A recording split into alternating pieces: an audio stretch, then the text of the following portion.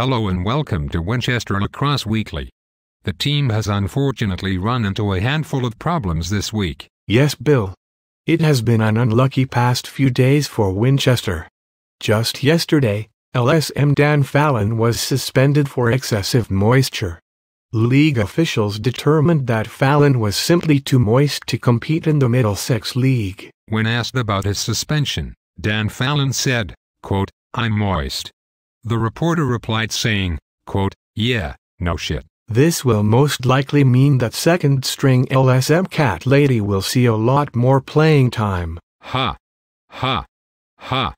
They're so fucked. Tom, please tell us about your interview with Seamus Cassidy. It was boring as shit. Whenever I asked him a question he would just say, yo this ain't a movie dog. Except once he replied by saying, Look Tom if you need a boner I got what you need. That is really gay. Almost as gay as my interview with Stefan Zandbergs. He wouldn't answer one question. He just kept asking if I was trying to chili block. Wow these kids are fucking Jerry's. I know right.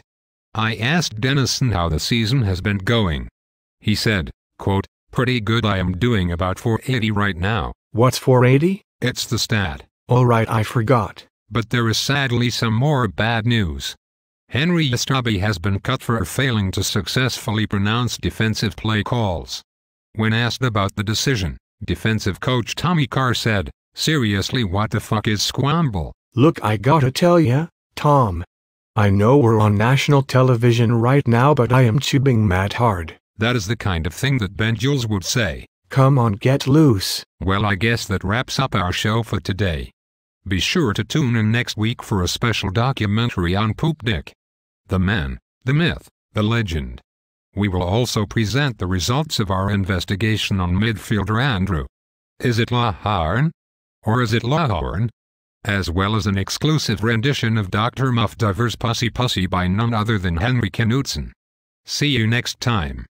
And remember, this ain't a movie dog. Well, it kind of is. Go fuck yourself.